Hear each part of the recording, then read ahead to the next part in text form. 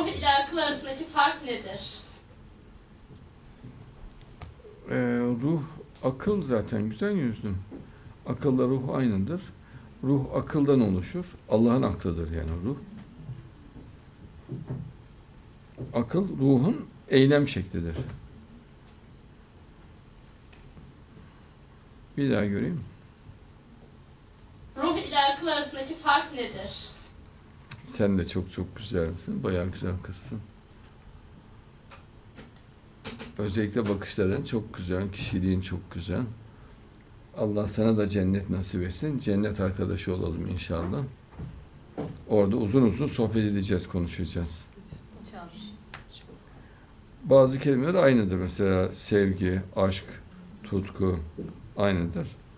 Ruhla da akıl aynıdır. Yani ruhun eylemine akıl denir.